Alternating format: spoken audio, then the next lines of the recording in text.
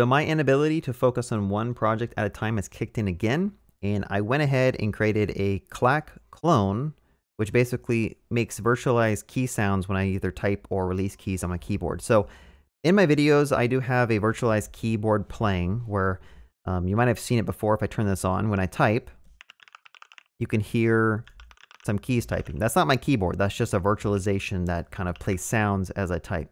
And this was a paid product called Klack app. It's like five bucks. I downloaded it and I love it. But I decided, you know what? Why not just make my own, learn a little bit about Go, learn a little bit about creating a virtualized keyboard. Before I walk through the code, if you guys are interested, I'm going to go ahead and run this. So I'm going to say go run main.go. And then we're going to go ahead and just pretend like we're typing.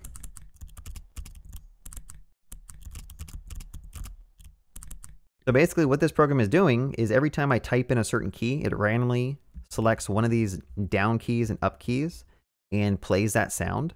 Secondly, the enter key and the space key have a little bit different sounding and also have a mouse. So if you hear,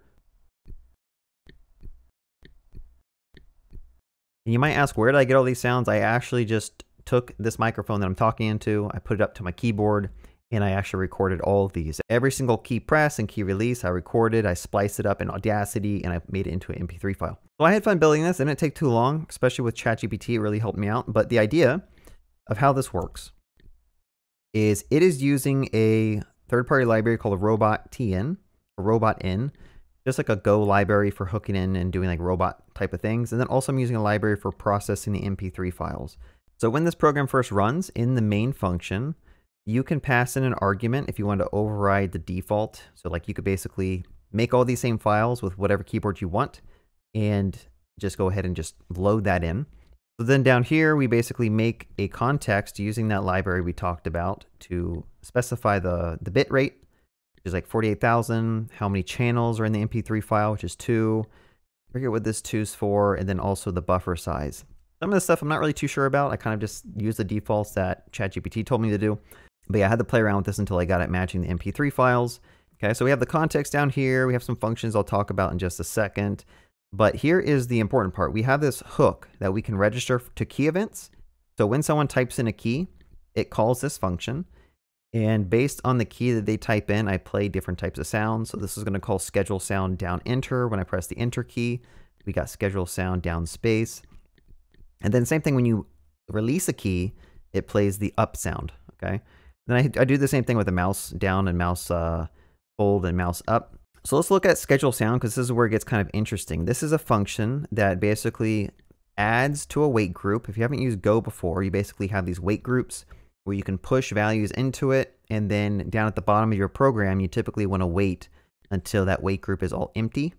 Um, and so as your stuff, your asynchronous processing finishes, you can just delete from the wait group. Okay, so over here we have a go function. It just calls play sound.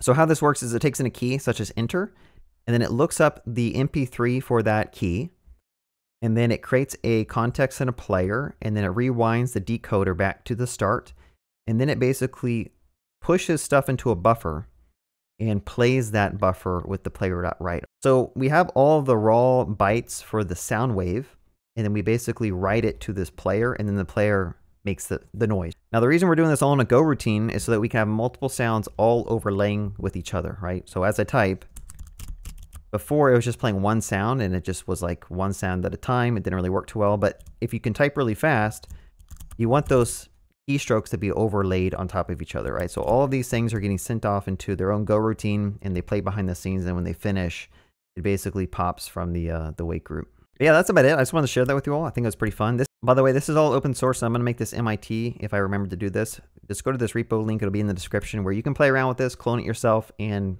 add on to it if you want to. Other than that, I hope you guys enjoyed watching this walkthrough of a Go program. Have a good day and happy coding.